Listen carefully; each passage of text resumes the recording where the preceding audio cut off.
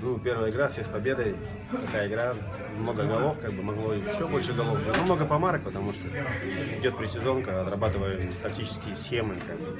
Такие игры нужны, только через них придет командная игра.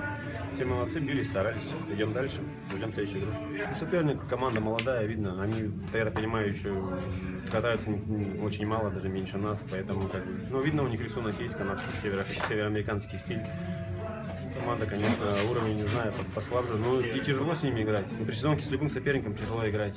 Все зависит от э, физического состояния. Какая-то команда под нагрузкой больше, какая-то меньше. Ну, С любой командой, я думаю, легко не будет на пресезонке. Да все великолепно, условия хорошие, нагрузки такие объемные, то есть сил хватает дойти до кровати, отдохнуть как бы, и готовиться к следующей тренировке. А так шикарные условия, готовимся к сезону, чтобы быть в полном порядке чемпионата. Все молодцы, молодежь хорошо проявила себя, поддавливала соперника.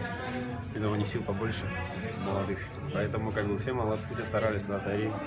Всех с победой, болельщиков, сороки.